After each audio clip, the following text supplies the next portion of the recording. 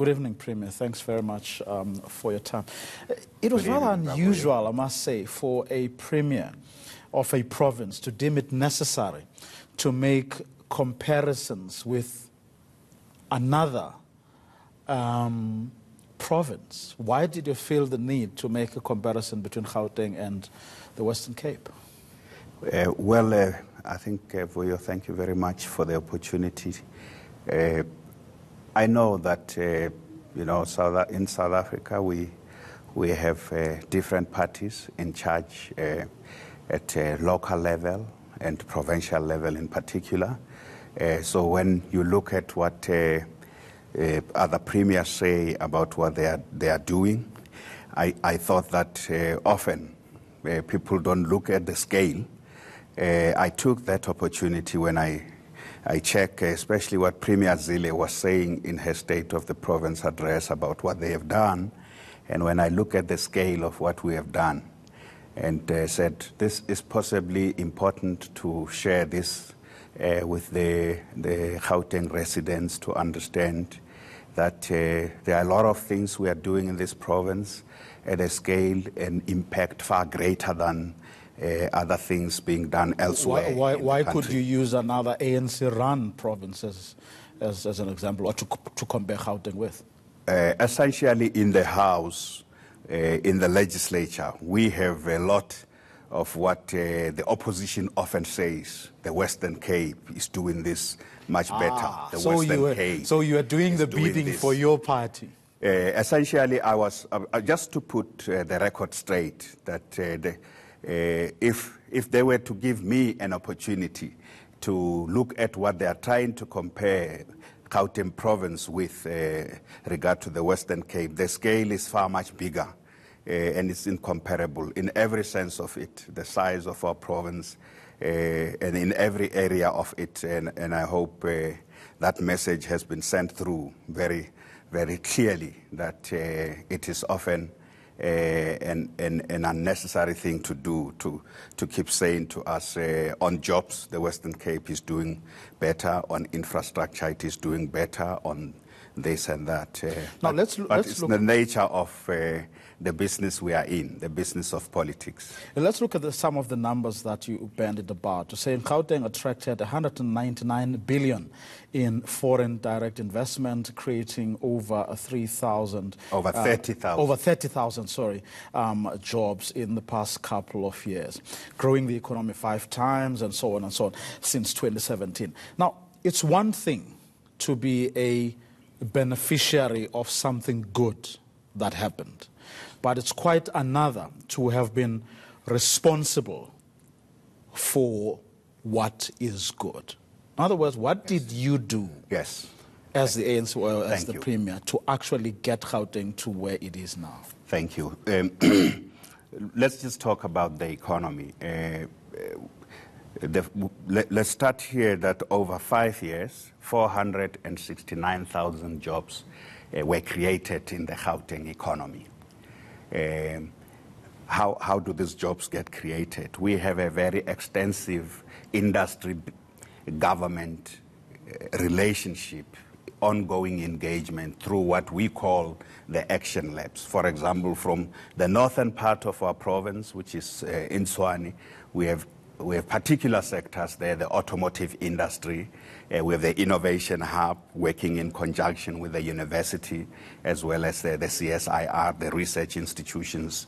Uh, we work with those, those various sectors. In the eastern part of our province, in Ekurhuleni, we have the, the manufacturers, basically, the capital equipment manufacturers, the aviation sector. So part of the work we have been doing, Vuyo, is an intensive work with them. We look at the skills. They will say to us, we've got the following challenges for us to grow, to, to create more jobs, because that's what the government's agenda is, create more jobs.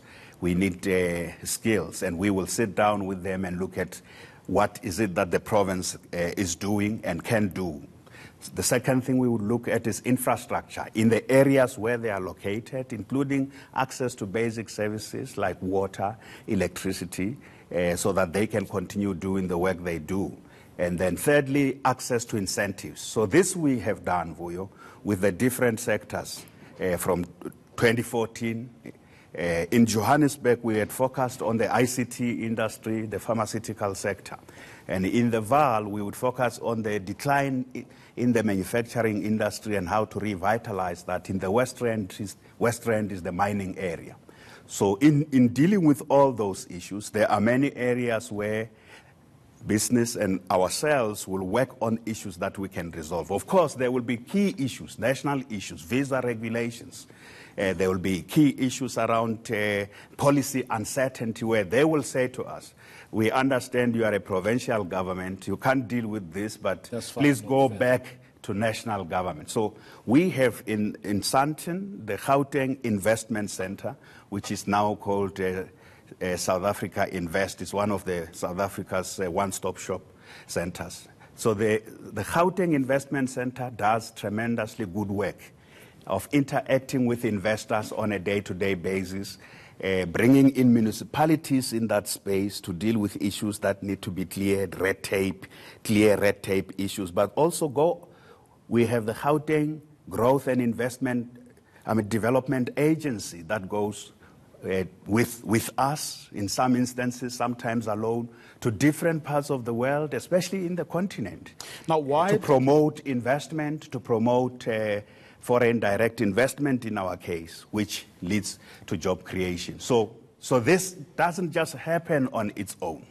Why then, Premier, did uh, this, why didn't this constant um, engagement with stakeholders and the meticulous way in which you're saying um, you uh, conduct your business with the private sector to attract investment translate to, let's say, what happened at Life Esidimeni, where clearly um, you were found seriously wanting. In other words, why are you not consistent? In other words, not only where you have to create jobs and so on, but where you have to deliver now social services um, to the poor.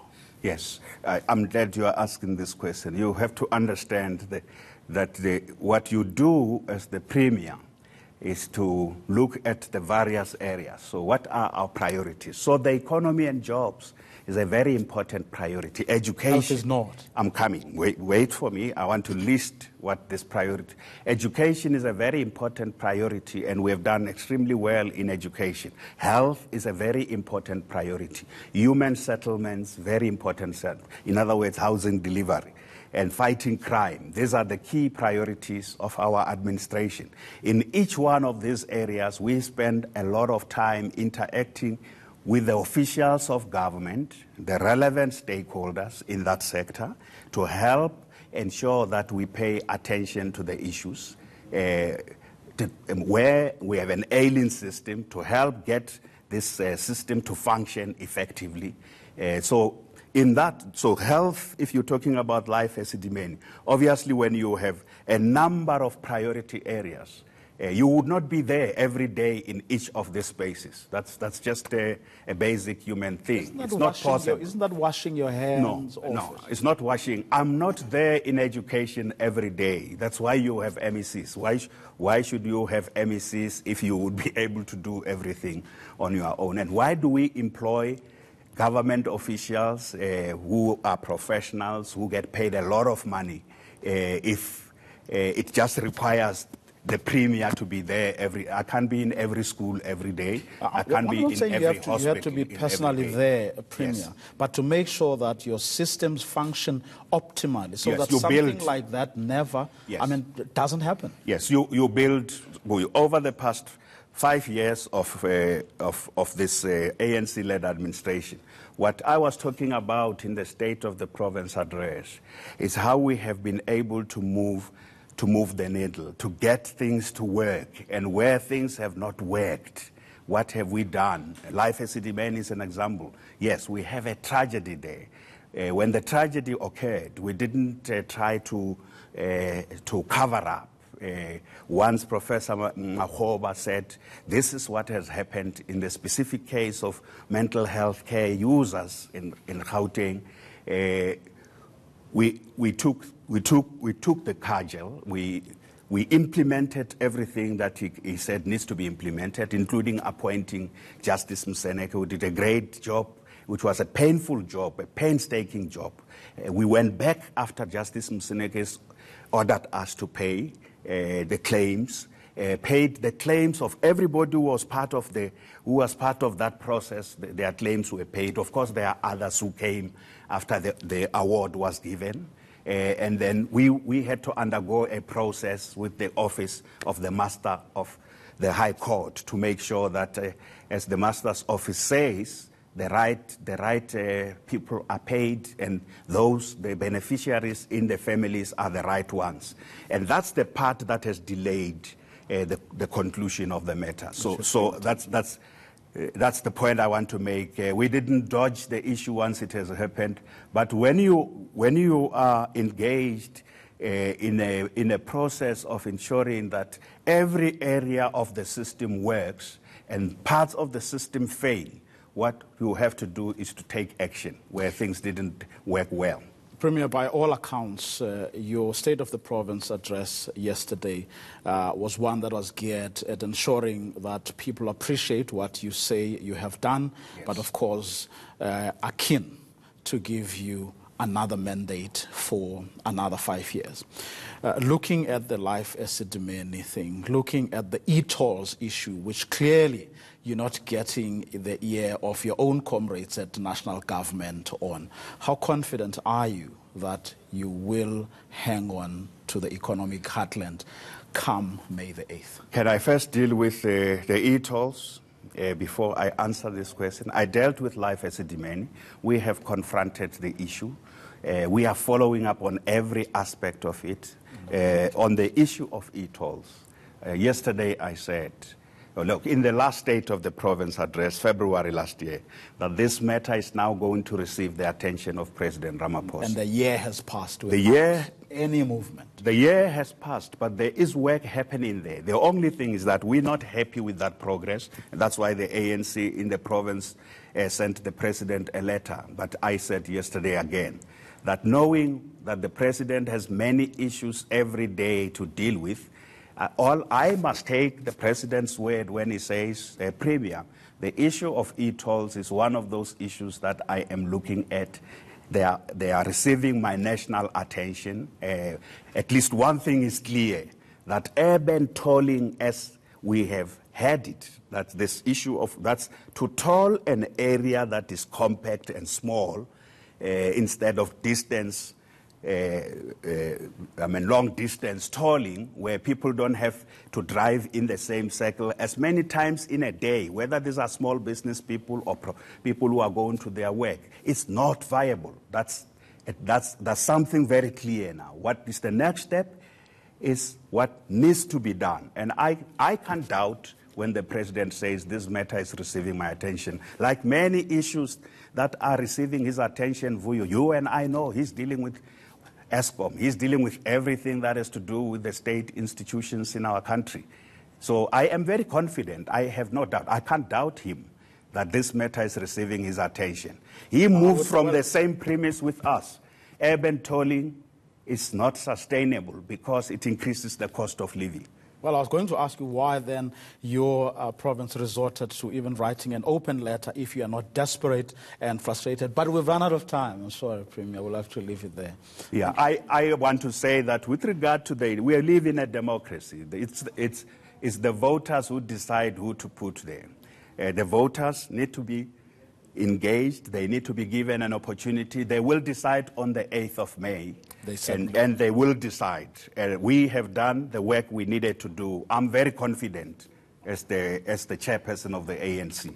Thank you very much for coming through. Gauteng Premier David Makhura.